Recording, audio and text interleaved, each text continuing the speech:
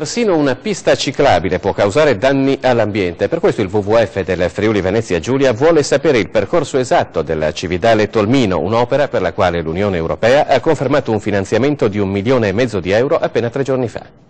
Non si tratta di voler far parte ad ogni costo del partito del no, ma di ricordare che anche progetti apparentemente innocui per l'ambiente, come la realizzazione di una pista ciclabile, parliamo della Cividale Tolmino, per la quale l'Unione Europea ha già stanziato un finanziamento da un milione e mezzo di euro, può creare problemi.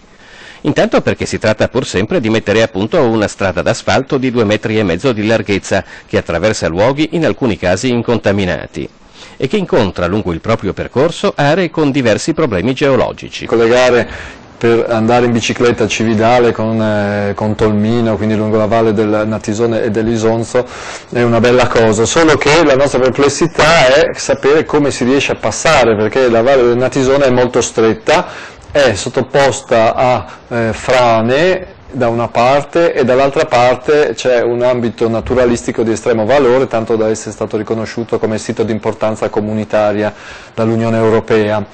Ecco, quindi la nostra perplessità è come si passa da quelle parti, quindi non vorremmo che si parta alla rovescia, quindi si acquisisca un finanziamento e poi si vadano a fare le opere senza eh, badare prima a quale può essere l'impatto naturalistico.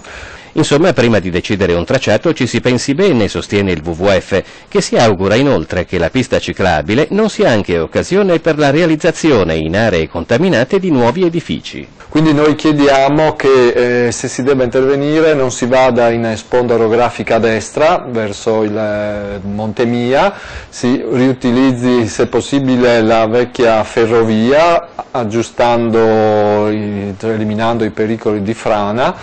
che purtroppo credo siano elevati, questo è un elemento di eh, perplessità, e che tutto questo venga sottoposto alle, alle procedure di valutazione di impatto ambientale e anche che sia magari coordinato con degli esperti dei, dei vari campi, che non ci sia solo l'ingegnere edile civile che costruisce la strada, ma ci sia una competenza multidisciplinare che valuti gli aspetti naturalistici, floristici, faunistici.